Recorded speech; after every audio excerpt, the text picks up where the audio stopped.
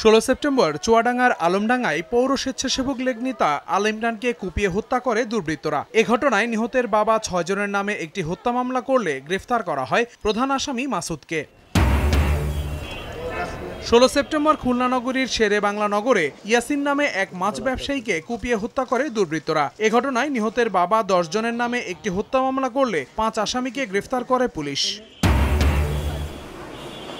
বানান ভুলের কারণে যশোর শিক্ষা বোর্ডের দুই হাজার একুশ সালের এসএসসি পরীক্ষার প্রায় এক লাখ ছাব্বিশ হাজার শিক্ষার্থীর সনদ প্রদান স্থগিত করে আঠারো সেপ্টেম্বর। এ ঘটনায় দায়ীদের শনাক্তে তিন সদস্যের তদন্ত কমিটি গঠন করে বোর্ড কর্তৃপক্ষ। উনিশ সেপ্টেম্বর সাতক্ষীরার আশাশুনিতে শামসুন্নাহার নামে এক গৃহবধূকে কুপিয়ে হত্যা করা হয়। এ ঘটনায় নিহতের ভাই বাদী হয়ে মামলা করলে অভিযুক্ত স্বামীকে গ্রেফতার করে পুলিশ। খুলনার খালিশপুরে নবম শ্রেণির এক শিক্ষার্থী ধর্ষণের শিকার হয়। বিশ সেপ্টেম্বর ভুক্তভোগীর বাবা পাঁচজনের নামে ধর্ষণ মামলা করলে গ্রেফতার করা হয় চারজনকে।